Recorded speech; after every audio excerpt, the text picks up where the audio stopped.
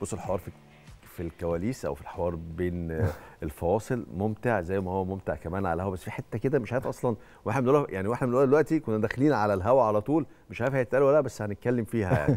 كنا بنتكلم على الكابتن وائل جمعة واحد من أعظم المدافعين اللي جم في تاريخ الكرة المصرية لعب جنبه عدد كبير من المدافعين. وكابتن شريف عبد الفضيل طبعا لعب وزامل الكابتن وائل جمعة. احكي لي بقى حكاياتك مع كابتن وائل جمعة عشان كل مدافع عنده حكاية مع وائل جمعة. بقى وائل؟ لا ده هو حكاية لوحده. طبعا طبعا. وائل جمعة طبعا يعني لعيب كبير و ويعني خدم منتخب مصر والنادي الأهلي لسنين طويلة يعني. بس هو كان أحسن واحد يلبس اللي جنبه. ده أساسي آه يعني. آه إزاي بقى يلبسك إزاي؟ في في مرة مثلا ماتش الزمالك آه.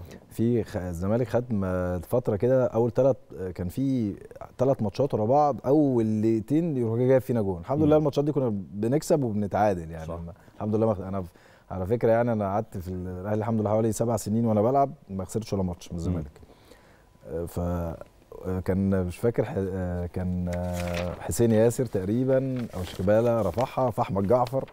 ماشي؟ هو اللي مع وائل. ماسكه آه. man to man جوه الستة. كرة متحركة بس هو اللي ماسك آه، أحمد جعفر. آه. وأنا على القريبة وائل هنا وجعفر هنا معاه. آه. وتقريبا شيكابالا حسين ياسر عمل cross. آه.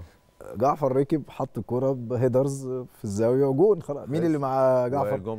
لقيته قطع من ال من ال من عند نقطة البين عندي يقول لي يلا يا شريف يلا ولا يهمك ولا يهمك. عليك، قلت له آه. لا لا ابعد إيدك. مش أنا لبساني ابعد إيدك انت انت اللي ماسكه. بتشيلاني ها؟ طبعا. أحمد سيد حكى لي موقف زي ده قبل كده برضه. ما هو يقعد يسقف. بص إحنا يعني هو الجمعة بيفضل وإحنا كلنا بنعدي عليه. أيوه. عدى على آه اجيال طبعا مدافع عظيم. آه طبعا. مفيش الله أعظم. عيني كل اللي عدى عليه. هو طبطب عليه. ملك الطبطبة في ناس ناس كتير زعلت منه يعني. ملك الطبطبة وفي حاجة تانية يمكن بركات كان بيقولها إيه دايما بقى؟ ال pass بقى. ال pass. إيه. بقى؟ يعني أنت لو لعبت back right جنبه لازم تحضر لل pass بتاعه. ال pass ده في حاجة اولا هو ما فيش back right عمر معاه. آه. يعني دايما أي back right هتلاقيه مشي من نادي آه له أحمد صديق محمد أحمد عبد الله. صديق أحمد عادل محمد عبد الله آه، إسلام الشاطر آه. آه الواد مانجا حتى ما لعب آه، مانجا آه. اللي راح اتحاد قبل كده وأحمد. رضوان وأحمد ر... بص آه. ما فيش حد بقى. آه. بركات كان يشوفه بركات بقى كان ذكي آه يشوفه هيعمل الباص يجري على قدام أصلا أصلا اللي هو بقى شوف اتصرف أنت بعيد عني هو بيديك الباص في مستوى كده ولا هتعرف تستلمه آه. ها ولا هتتصرف في الكورة ولا هتشيلها انت حتى. طبعا ولو أولاً هتخ- بقوة ولو- هتتخطف في المستوى ده. ولو هتخطف منك وانت هتشيلها. عندك خصمين الخط آه. والمدافع. صح. اللي قدامك. آه،. خلاص؟ هتستلم إزاي؟ صح. يبقى ما فيش حل. فبيديك ال pass صعب جدا. وانت آه. آه. دايما ال back right على فكرة وال left ال- دايما عندهم الأدوار بتاعتهم مختلفة لأن آه. آه. دايما أنا بلعب على خصمين. الخط ده خصم.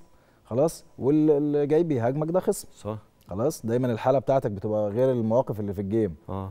خلاص؟ فدايما وقفتك هتفرق جدا. استلامتك للكورة وال pass اللي جاي لك جاي لك إزاي؟ آه. آه. هو بيديك أصعب pass اللي هو فوق الأرض والمستوى ده خلاص وبيديهولك ولا هو هنا ولا هو هو هنا عند الركبة كده. تمام. وقوي جدا. تمام. معاك ربنا بقى. انت بقى آه ولما. لما مش هتستلمها انت أنا شلتها فاكر مرة كان مانجا بيلعب آه، مش فاكر ماتش الاتحاد آه، كنا في استاد القاهرة والله العظيم. آه. وكان آه، مستر مانويل جوزيه قاعد على الدكة.